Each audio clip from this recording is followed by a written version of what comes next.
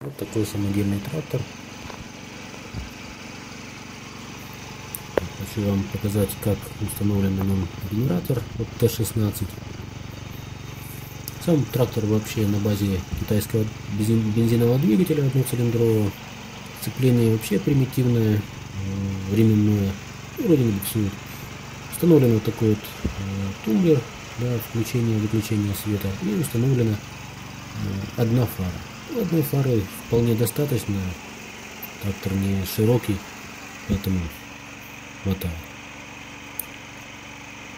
Ну, вот так вот тумблером включается свет.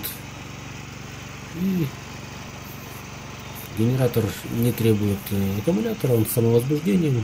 Поэтому вот так вот довольно ярко свет горит. Можно вполне ездить, ездить ночью.